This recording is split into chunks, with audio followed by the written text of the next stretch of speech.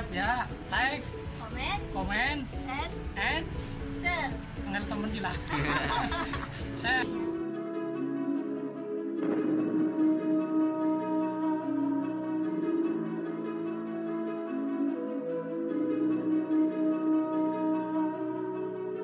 Sobat Elektronik, kembali lagi dengan saya Kali ini saya memiliki dispenser bekas yang sudah cukup lumayan parah Tapi untuk kompresornya masih hidup.